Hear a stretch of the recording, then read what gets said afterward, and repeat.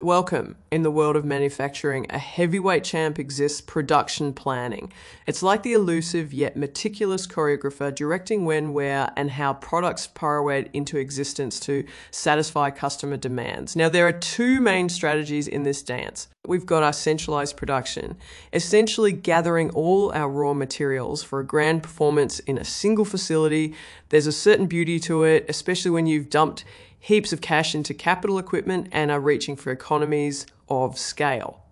Yet, let's not forget our dark horse distributed production.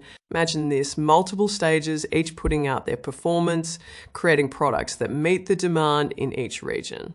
It has a charm to it, right? Especially when the audience, our customers, demand quick and cores with minimal transportation costs on their bulky orders. Also, my listeners, whether you're a fan of the grand centralized spectacle or the local distributed gig, it all boils down to your business's unique rhythm. It's all about hitting that sweet spot, managing your supply chain. It's notable, it's crucial, it's showtime.